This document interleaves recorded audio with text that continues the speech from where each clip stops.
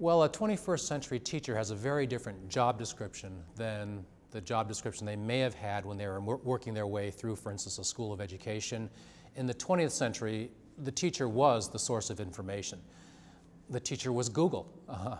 The teacher had the, all the information in that classroom to communicate to the students, and there were books, of course, textbooks, and, but not a whole lot else. So it was the teacher, the textbook, and the student in this kind of combined uh, environment. And now we know that all the information that students need to know is out there on the internet. It's in the community.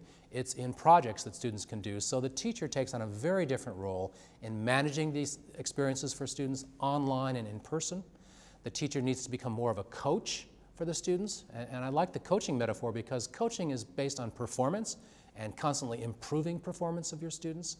So that's a very different role definition than teachers have had in the past.